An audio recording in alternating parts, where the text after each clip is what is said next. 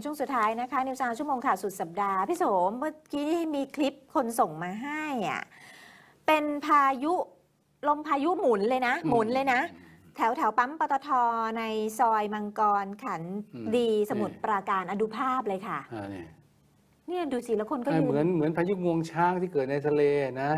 แต่ถ้าเป็นถ้าจะพูดว่าเหมือนทอร์นาโดทอร์นาโดขนาดย่อมๆอะนะอ่า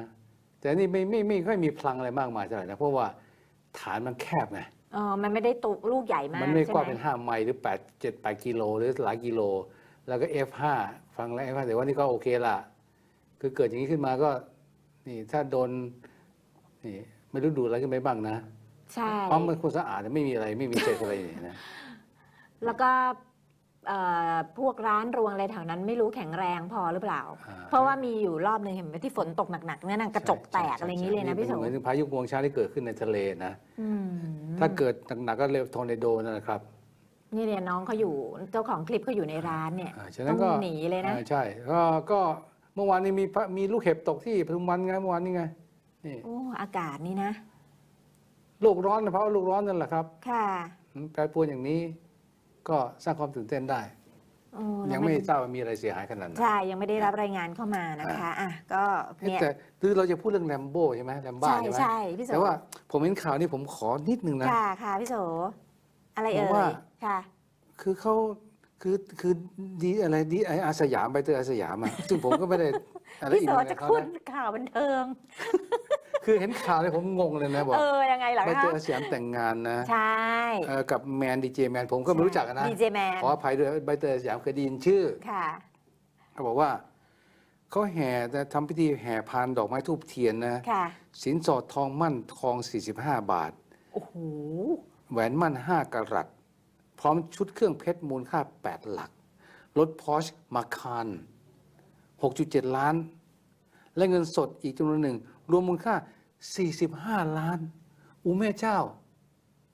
ค่าตัวเจ้าสาวนะ 45 ล้าน ซึ่งอาจจะแค่เศษเงินของฝ่ายผู้หญิงอะ ผู้หญิงต้องมีเงินเยอะอยู่แล้วเพราะเป็นคนดังใช่ไหมล่ะ ค่ะ อย่างนี้เลยอะ เป็นดารา ดีเจแมนมีเงินงี้เหรอ มีเงินเยอะเหรออันนี้ไม่ทราบเลยพี่โสคือวันนั้นผมเห็นเกาหลีเจ้าด่าเจ้าบ่าวหมื่นล้าน ผมก็ช็อกแล้วนะ เจ้าบ่าวหมื่นล้าน เจ้าบ่าวกำมารอนั่นนะนะ ก็มารอหมื่นล้านแล้วก็ไปปอกลอกใครก็มาต่ออะไรเต็มที่นะอ๋อ แม้กระทั่งแม่ตัวเองโดนโกงสิบล้านเลยนะค่ะ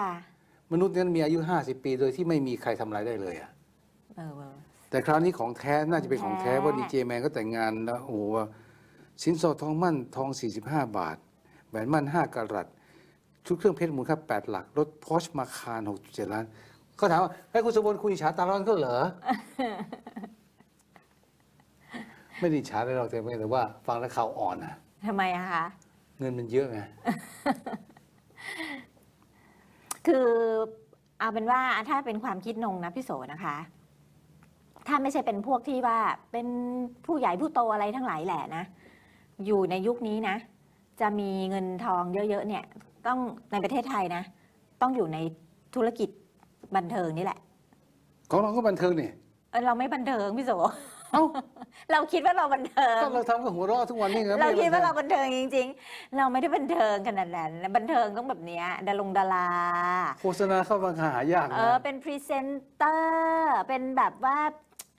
เนี่ยลง IG ที่หนึ่งก็กี่หมื่นกี่แสนอย่างเงี้ยค่ะพี่โสเขาไม่งานเขาสบายด้วย อันนี้ความคิดส่วนตัวนะ ความเห็นขายส่วนตัว ขายหมูปิ้งไม้สิบห้าบาทถึงจะได้สี่สิบห้าล้านวันหใช่นึง พี่โสต้อง พี่โสต้องขายกี่ไม้อะสี่สิบห้าล้านอะต้องให้คนจีนซื้อคนละไม้อะ เออเอาไว้แต่ว่าเราแบบว่าไม่ได้แบบดูถูกดูคือไม่ได้แคลดูนแต่อะว่าไรนะก็เราคือ ต้องทึ่งว่าเศรษฐกิจอย่างนี้นะ คนใบเตยเขาทุ่มเขาเจ้าบ่าวทุ่มเงินในขนาดนี้นะ โอ้โห ถือว่า เธอต้องมีค่ามากเลยเก็บตังค์เก่ง อันนี้ต้องบอกเลเธอยต้องมีค่ามากเลย เก็บตังค์เก่ง เดี๋ยว ไอ้ตัวลงใครขอใครผมไม่ได้ ใครผู้หญิง ก็ต้องดีเจแมนขอใบเตยสิคะพี่โสค่ะอ๋อโอเคโอเคโอเค บางทีผมก็สับสนกับอินเดียทำไมอินเดียอินเดียต้องผู้หญิงขอ ใช่อินเดียผู้หญิงจ้าสาวเป็นคนออกขผู้ชายตังค์ใช่จัดงาใช่นต้องขอผู้สินชายสอด ถ้าไม่มีเงินนะ โอกาสที่เสี่ยงต่อความเป็นโสดอะมาก ค่ะ ถ้าไม่มีเงินยกเว้นจะไปอยู่ในระดับเดียวกันนะแต่กรณีเช่นนี้เนี่ยอื้อหือ ถูกหมื่นล้านกบข่าวหมื่นล้านเลยเลยเจ้าบ่าวกำมารอหมื่นล้านที่ว่านั้นนะเออ เอานะเจ้าบ่าวกำมารอยังดีกว่านักการเมืองกำมารอเอออะยังดีผู้นำกรรมประเทศกรรมผู้นำกรรมารอหลายยุคที่เราเคยมีมา เออ ผมไม่ได้บอกเจาะจงยุคนี้นะที่เคยมีมาไงเออ ผู้นำกรรมารอค่ะทุกวงการต่างง่าๆอะเอาเรื่องข่าวบันเทิงไหนๆเราข่าวบันเทิงเรามาแนวนี้แล้วกันพี่โส อันนี้ก็แหมนะเขาก็ได้ดิบได้ดีมันจะถึงจุดนี้เลยนะแรมโบ้อีสานน่ะก็ เราจำได้ว่าเขาเป็นฝั่งนปชใช่ไหม ผมจำได้เขาถือปืนทาโบ้เนี่ยยืนเนี่ยนะ หลังจากขับไล่เออบิ๊กป้อมในในกระทรวงมหาดไทยนะ ค่ะ ไล่คุณพิสิทธิ์เกือบตายนะ คุณนิพนธ์พร้อมพันธ์ซี่โครงหักสามสี่ซี่นะเออ ปางตายอะ ค่ะมาถือปืนทาโบ้อยู่เนี่ย โชว์จำเนี่ยได้นะ ใช่ เนี่ย แล้วจู่ๆท่านผู้นำของประเทศ ห้าวเป้งสุดยอดนี่นะ ประชาชนรักใคร่ทั้งแผ่นดินเนี่ยนะ เอามาเป็น รัฐมนตรีประจำสำเอ้ยกรรมช่วยฐการมนต ผู้ช่วยรัฐมนตรี คือแบบว่าแต่อ่านอ่านตำแหน่งไม่ถูกเลยอะเรียกดัมโบอีสานกรรมการผู้ช่วยรัฐมนตรีมันก็จะดูกับขัดขัดกัน แรกคดีที่ถือปืนโชว์เนี่ยนะ ปืนที่ขโมยมาจากทหารเนี่ยนะ ค่ะเป็นนายไปถึงไหนแล้วอะเงียบๆไปแล้วนะฮะอืมผมจำได้นะวันนั้นน่ะ คนเขาหนีตายกันเยอะใช่แยะวันนั้นน่ะวันนั้นข่าวแบบใหญ่มาก แล้วประชาธิปัตย์ที่ร่วมกับรัฐบาลนี้จะมองว่ายังไง คุณที่พลพร้อมพันธ์น่ะ เอ้ยวันนั้นหรือเปล่าพี่โสวันเดียวกันกับที่บุกกลาโหมใช่ไหมแล้วบิ๊กป้อมต้องหนีไม่กระบุกมหาไทยบุกมหาไทยแล้วที่บิ๊กป้อมต้องหนีด้วยลใช่งวันเร่งเดียวเร่งหนีก็ประตูหลังไงหนีประตูหลังเอนี่อเหรอเออเออให้ทหารต้องชักปืนมาไงวันนี้เลยวันเดียวกันวันเดียวกันแหละอันเดียวกันเออแล้วคุณนิพนธ์พร้อมพันธ์อยู่ในเข้าไปในรถโดนแต่ว่าโดนแบบทุบเลยเออต้องเข้าโรงพยาบาลจำได้ละซี่โครงหักสองสามซี่อะอืมอืมอืมเอาไปสิทธิ์หนีทันนะเกือบตายอะที่โดนทุบไงเกือบตาย แล้วจู่ๆนี่ ท่านผู้นำประเทศ ซึ่งตอนนั้นดูแลฝ่ายความมั่นคงทหารอยู่นะ เอามาไว้อย่างเงี้ยเดี๋ยวก่อนขอดูก่อนแล้วคุณจะให้ผมมองยังไงไม่ทราบ นี่ไม่ใช่เฟกนิวส์ใช่ไหมคะ เขาประกาศทางการแล้วลงนามไปแล้ว ใช่เนี่ยมันคืเห็นข่าวภาษาจีนเรียกว่า หัวเราะมีให้ร่ำให้มิออก หัวเราะไม่ได้ร่ำให้มิออก สายตรงมาแล้ว อย่างนี้ก็มีเขาบอกมาทำงานการเมืองดูแลเรื่องม็อบอย่างเดียว ใช่ แล้วคดีก่อนนั้นเขาบอกว่า มีเขาไปกระซิบบอกว่าคนเฮ้ยถ้าผมไม่ไปเขาเล่นงานผมตายแน่นอนนะอืมถ้าผมไม่ไปเขาเล่นงานผมตายแน่อืมคนอื่นนึงต้องแห่เข้าไปไงจากจากจังหวัดเลยนั่นโคงลงเขาอะไรแห่เข้าไปไงอ่าใช่ แล้วสุดท้ายในคนนี้ตูเต้นยังงงเลยเฮ้ยมึงรอดคดีไปได้ไงอะหมดอายุความอะอภินิหารทางกฎหมายอะอืมสุดยอด สุดยอดจริงๆอันเนี้ย แต่ผู้นำประเทศห้าเป้ง รักชาติรักประชาชนจนสุดใจขันดินแดยันเนี่ยนะ